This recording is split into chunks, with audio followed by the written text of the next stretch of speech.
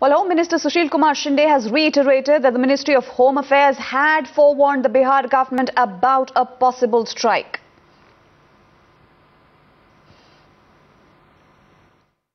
Air चालू हो गया है ये हमारे देश का एक बहुत बलवान फोर्स है और शत्रुओं से लड़ने में वो बहुत मशहूर है तो आज उनको मैं बधाई देता हूँ और शुभकामनाएँ देता हूँ कि हमारे देश के रक्षा के लिए वो हमेशा अच्छा काम करें। सर पटना ब्लास्ट को लेकर से जिस तरह से नीतीश कुमार ने कहा है कि कोई जो वहाँ इनपुट जो थे पहले तो उन्होंने कहा था कोई इनपुट नहीं बाद में कहा कि इनपुट है लेकिन कोई स्पेसिफिक इनपुट नहीं नहीं उस पर क्या कहना देखिए वो कल मुझे आके मिलने वाले हैं। आज मैं जाने वाला था लेकिन उनकी राजगीर में कई मीटिंग है आज।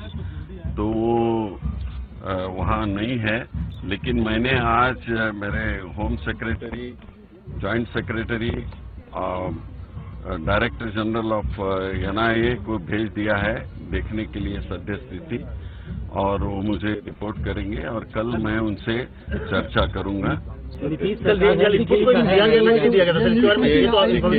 देखिए मैं वही बोल रहा हूँ। हमने तो कह दिया है कि इनपुट दिया है अभी जनरल दे दिया है नहीं दे दिया है बात अलग होती है।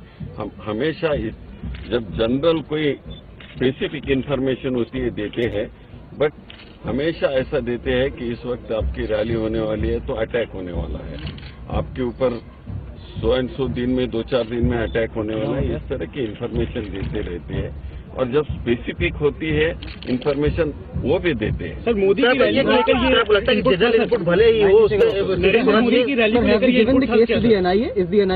देखिए पूरे देश में जो जो रैलियाँ हो रही है उसके बारे में हमने बहुत अलर्ट किया है कि उसके बारे में अलर्ट रहे पुलिस स्टेट के पुलिस अलर्ट रहे इस प्रकार का।